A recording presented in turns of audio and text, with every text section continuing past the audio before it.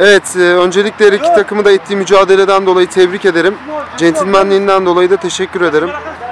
E, çok güzel bir maç oldu. Centilmence, kardeşçe bitti. E, Gürpınar iyi oynadığı maçı kazanmasını bildi. Fatih e, bu maçta yıldızlaştın. Maçın adamısın. Neler söylemek istersin? Valla bütün arkadaşlara teşekkür etmek istiyorum ilk başta.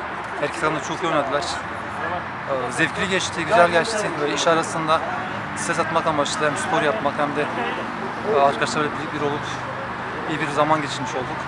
Umarım devam gelir bu maçların. Bütün arkadaşlara tebrik ediyorum. E, biz de teşekkür ederiz.